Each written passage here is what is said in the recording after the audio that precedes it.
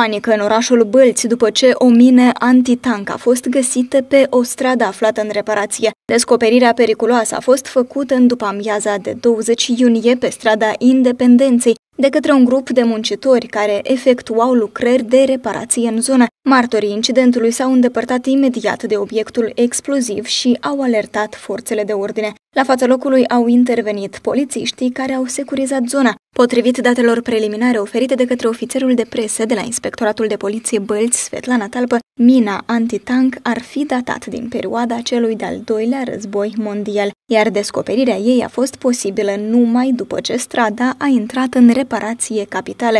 Prin urmare, oamenii legii au încercuit zona pentru ca geniștii să poată efectua misiunea de evacuare a obiectului periculos. Poliția cercetează cazul.